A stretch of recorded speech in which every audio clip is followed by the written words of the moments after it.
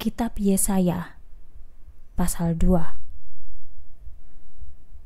Pesan Allah kepada Yehuda dan Yerusalem Yesaya anak Amos melihat pesan ini tentang Yehuda dan Yerusalem. Pada hari-hari terakhir gunung bait Tuhan akan berdiri lebih tinggi daripada segala gunung.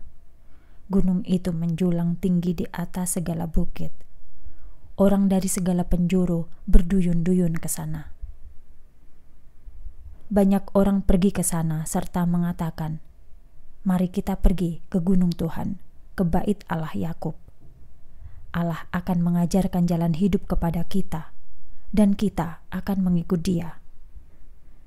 Ajarannya, pesan Tuhan, akan mulai di Yerusalem, di atas Gunung Sion, dan menyebar ke seluruh dunia. Allah menjadi hakim untuk menyelesaikan perselisihan bangsa-bangsa. Ia akan memutuskan apa yang benar bagi orang dari banyak negeri. Mereka akan berhenti memakai senjatanya untuk berperang mereka akan menempa bajak dari pedangnya dan memakai tombaknya menjadi alat pemangkas. Semua perlawanan di antara bangsa-bangsa akan berakhir. Mereka tidak lagi berlatih untuk berperang. Keluarga Yakub, mari kita ikut Tuhan. Keluarga Yakub, kamu telah membuang umatmu.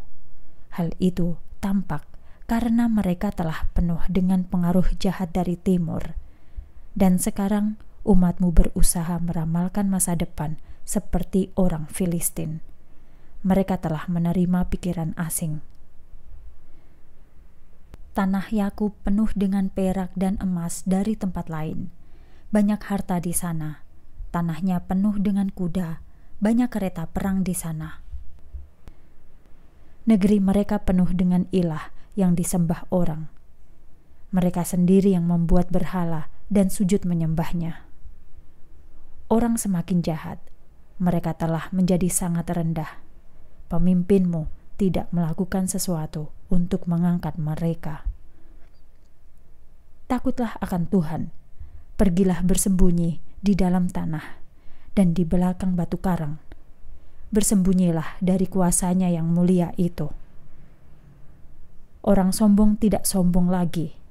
Mereka tunduk ke tanah dengan rasa malu, dan hanya Tuhan yang masih berdiri tinggi.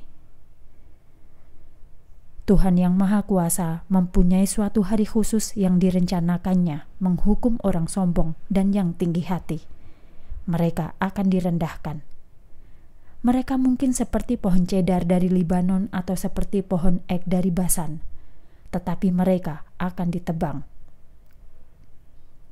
mereka mungkin seperti gunung dan seperti bukit yang tinggi, atau seperti menara dan tembok yang tinggi, tetapi akan diruntuhkan.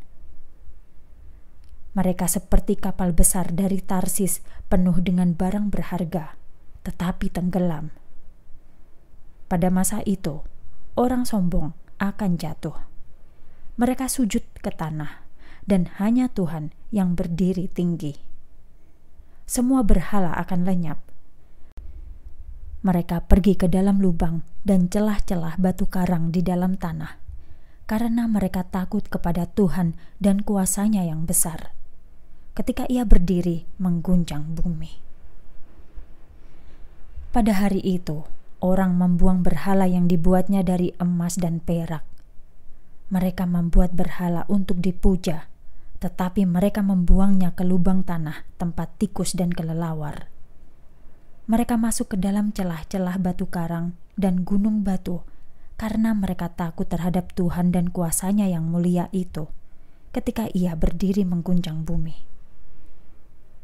Jangan percaya kepada orang lain untuk menyelamatkanmu. Jangan berikan terlalu banyak harapan terhadapnya. Mereka hanyalah manusia yang belum berhenti bernafas.